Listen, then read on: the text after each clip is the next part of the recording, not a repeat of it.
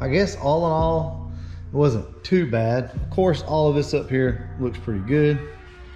But as you get back here, we've got some pretty serious rust going on. looks like obviously at some point this thing has been apart. The thing to remember here is my dad's owned this car since like 1980, uh, somewhere around that era. So it must have been back in the late 70s or something. Somebody popped this thing out, popped this back glass out and did something back here. So if you guys don't know, I mean, these cars were notorious for rusting even kind of early on. So there very well could have been a little bit of rust back here from years ago. We have this whole package tray, this whole back bracket back here that you see. We have a new one, but hmm, I'm not so sure that we want to put that in first. I think I may need to go ahead and fix this before we get started on that. And let me show you why. As you can see, this thing wraps around and basically attaches to the bottom side of this. So what I'm afraid of is if we come in and we take this rear seat bracket out right here, this brace out, and drill all the spot welds and all that out, then we're gonna lose basically some rigidity and the shape of all this. So I think the first thing we need to do is go ahead and uh, build these new pieces right here. This will be my first major fabrication job so far on the channel. And I figured I would come out here and show you guys kind of how I'm doing it. This is trial and error. I'm probably gonna mess this up, but it's all right. You know what? We all learn from our mistakes. But first off, huge shout out to whoever it was that mentioned uh, Fitzee's Fabrication. So whoever that was, man, I really do appreciate that. Seriously, I checked the channel out, and as you can see, that's the method I'm using. So this is the, the two pieces that I have so far. As you can see right here, these two pieces are gonna fit pretty good in here together. And if you don't know what I'm doing, I'm basically just making a mold, if you will, of what we already have here. So all of this is, is rusted out. Basically, I just took a piece of metal and trimmed out until it fits up into this pinch weld pretty good. Uh, has There you go.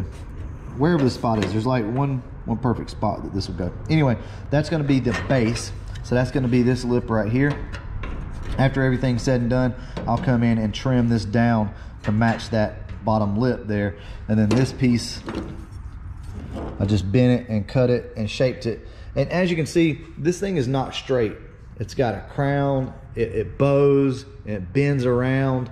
Um, this is not, there again, I'm, I'm, quoting a lot of what Fitzee says on his channel, but there again, none of this stuff is 90 degrees and none of this is just a, a smooth arc. It's all got crowns and bends and shapes that you can't really see until you start working on it.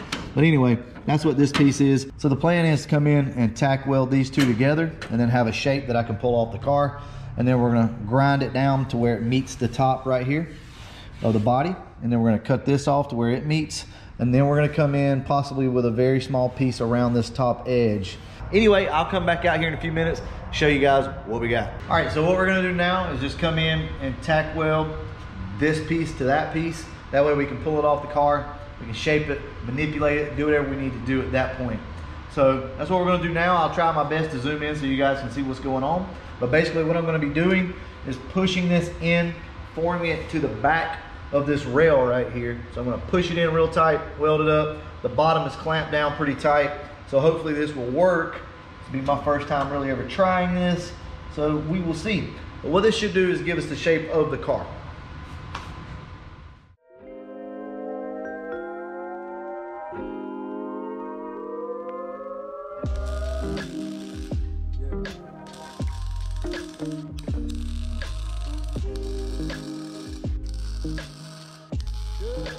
All right, so everything looks pretty good. We've got our body line pretty much matched up.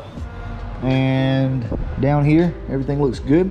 So we'll obviously have to come in and weld this and then grind it all down. It'll have to be welded from the backside as well and then ground down. Uh, so we've got a good solid foundation. But this really should be it. Uh, this will be our base up here. So what we'll do now is go ahead, pull this thing out a couple times, make sure it fits good. And then uh, what we'll do from there is go ahead and stitch weld everything in. And then we'll come back and grind this off a little bit later. Basically, this is trial and error on this. I'm just showing you guys what I'm doing. Uh, if this works out, then I'll show you on that side exactly how I went about doing everything. Taking the measurements, marking it all out, and cutting it. All right, so I'm gonna pull this out and I'm gonna look at it, make sure we're good, and I'll get back to you guys. All we're gonna do now is come in and we're gonna start putting some tack welds around this. And that's just to hold this thing in place so that as we cut, we can kind of cut and butt per se. Um, I think this is gonna work out pretty good. I really should have come on out with a little bit of a lip right here, but uh, I think it's gonna be fine. So, hey, we can always come back and add more if we need to, but for right now, I think this will cover up and handle pretty much all of our issues that we've got. Basically, we're gonna cut out all of this metal right here, right? The shape of this is what's gonna be cut out. So I'm a little nervous, but I got faith in myself and I think I can do this.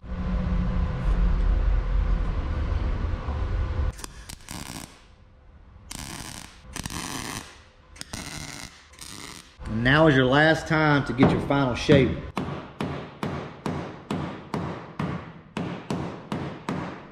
So if you need to do some shaping, now's the time to do it. It's your last chance.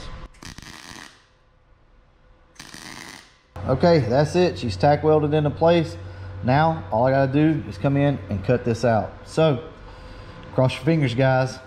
Here goes nothing. What I'm doing here is going around with my grinder on the piece that we made, and I'm just cutting around the edges of it, cutting through my old spot welds so that we can push this thing down flush and then put our new spot welds on. As you can see, I'm just applying a series of spot welds around where we drop this thing down flush so that we can then later come in and grind it down smooth. And finally, I'm just taking the grinder and smoothing everything out. Once this is all said and done, we should have a nice flush piece. There's definitely gonna be a little bit of filler involved in this, but guys, overall, I'm pretty happy with that, considering that's my first time.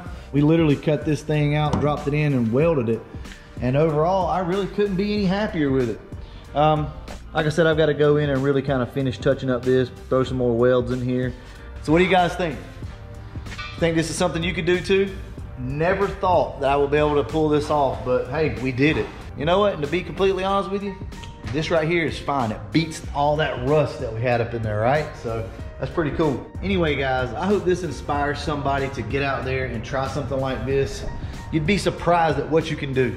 And I mean that. Sometimes you just gotta have a little bit of faith in yourself and stuff will just work out. I'm glad that's off my chest. All right, guys, I'm gonna go ahead and wrap this video up. And as always, thanks for watching.